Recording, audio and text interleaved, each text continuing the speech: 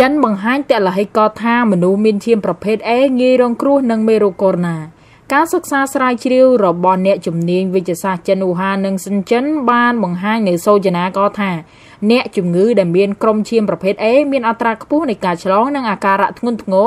នៃជំងឺ COVID-19 តែផ្ទុយទៅវិញមនុស្សមានឈាមប្រភេទ O មានហានិភ័យតិចតួចណាស់តើតែលហិកនោះមានអ្វីខ្លះបានជាចិនហ៊ានអះអាងយ៉ាងដូចនេះ បតាម South China Morning Post បានចុះអត្ថបទមួយថាអ្នកស្រាវជ្រាវចិនបានលើកឡើងពីប្រភេទឈាមងាយប្រឈមនិងមិនងាយប្រឈមនឹងជំងឺ COVID-19 ឈាមប្រភេទ A ត្រូវបានគេសិក្សាថាងាយរងគ្រោះដោយវីរុស COVID-19 ខណៈអ្នកមានឈាមប្រភេទ O មិនងាយរងគ្រោះនោះទេការសិក្សានេះសំអាងទៅលើអ្នកជំងឺ2000នាក់នៅក្នុងនោះ មនុស្សប្រភេទឈាម A មានច្រើនជាងគេដែលមានន័យថាអ្នកមានឈាមប្រភេទ A មានអត្រាឆ្លងខ្ពស់ហើយអាចវិវត្តទៅធ្ងន់ធ្ងរទៀតផង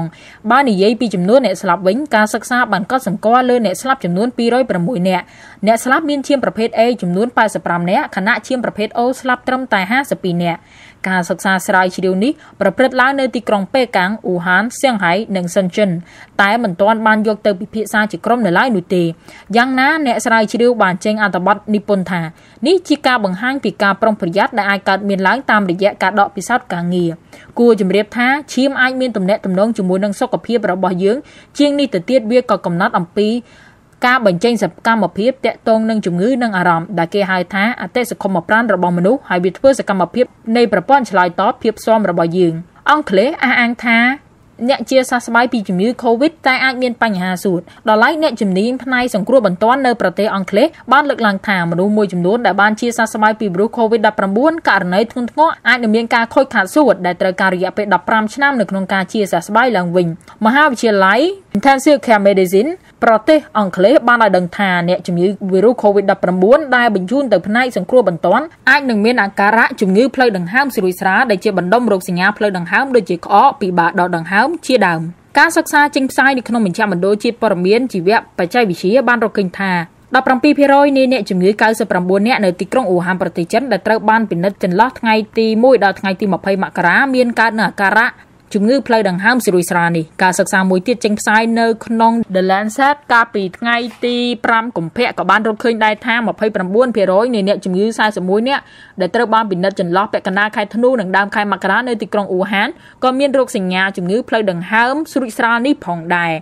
រោគសញ្ញាជំងឺផ្លូវដង្ហើមស្រួយស្រាលនេះធ្វើឲ្យសួតបញ្ជូនអុកស៊ីហ្សែនទៅកាន់សរីរាង្គផ្សេងទៀតមិនគ្រប់គ្រាន់នៅពេលដែលវីរុស COVID-19 ចូលទៅក្នុងសួតភ្នាះកោសិកាផលិតស្លេសដែលមានការរលាកសេវាកម្មសុខភាពជាតិប្រទេសអង់គ្លេសបានប្រាប់ថាការរលាកនេះអាចបង្កឲ្យមានបញ្ហាសួតធ្ងន់ធ្ងរនៅពេលដែលសារធាតុរាវចេញពីសរសៃឈាមជ្រាបចូលទៅក្នុងថង់ខ្យល់ក្នុងសួតដែលធ្វើឲ្យវាពិបាកនៅក្នុងការដកដង្ហើមតាមការលើកឡើងរបស់ FICM ប្រទេសអង់គ្លេស នៅក្នុងសារព័ត៌មាន The Sunday Times ថាសួតរបស់អ្នកជាពីវីរុស COVID-19 ក៏នឹងត្រឡប់មកកាន់សុខភាពធម្មតាវិញនៅរយៈពេល6ក្រោយជាមួយនឹងបញ្ហាតិចតួចដូចជាការពិបាកក្នុងការធ្វើលំហាត់ប្រាណនិងសម្រាប់អ្នកមានរោគសញ្ញាផ្លូវដង្ហើមធ្ងន់ធ្ងរអាចត្រូវការរយៈពេលដល់15ឆ្នាំ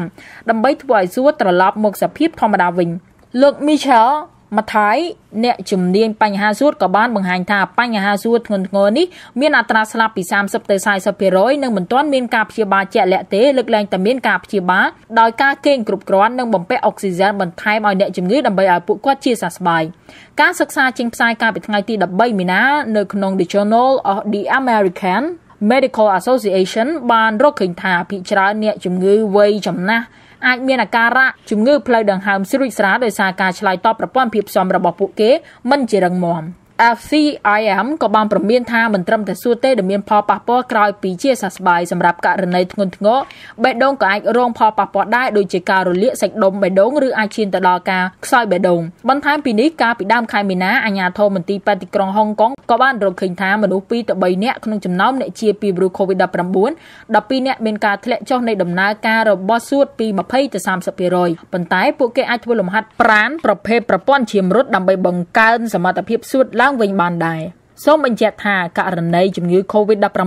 មានអ្នកឆ្លងពេលនេះដល់ទៅជាង20ម៉ឺនអ្នកទៅហើយហើយរីករាលដាលជាង150ប្រទេស និងដែនដីក្នុងនោះអ្នកស្លាប់បើគិតនៅយប់ថ្ងៃទី18មីនាមាន8272នាក់តែអ្នកជាសះស្បើយមានប្រមាណជាង80000នាក់ផងដែរប្រទេសឆ្លងច្រើនជាងគេទាំង10គឺរួមមានតាមលំដាប់ចិនជាង80000នាក់ឆ្លងស្លាប់3237នាក់អ៊ីតាលីជាង30000នាក់ឆ្លងស្លាប់2506នាក់អ៊ីរ៉ង់ឆ្លងជាង170,000នាក់ស្លាប់1135នាក់